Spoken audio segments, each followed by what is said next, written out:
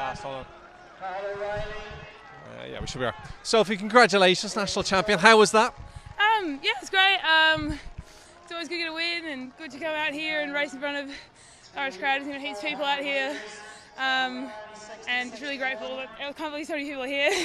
and yesterday in the rain as well was crazy. So yeah, good support.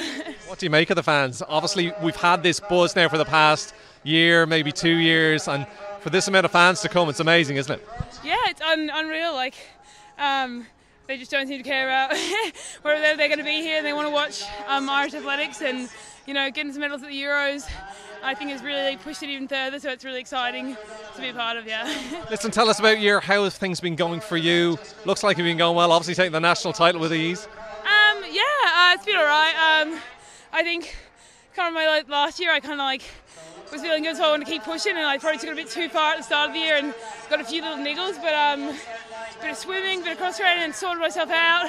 Um, and I think I'm back um, right where I was last year, in a better spot. So I think I can um, get going for Paris pretty well. So excited.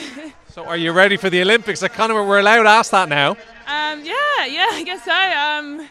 Yeah, super excited. Never been to France, so that'll be fun. and, and then finally, just what's the plan over the next few weeks as we head into the final preparation? Um, I'm going to go back to training for a little bit for a week or so, and then I'm going to come back and race the Cork City Sports. I race the 3000 there. Um, it's one of my favourite meets, and I haven't come. Didn't come missed it last year because it wasn't, wasn't on, but um, I'm really excited to come back and race that at home. So yeah. Good stuff. Listen, best luck for your preparation. We look forward to seeing you in Paris.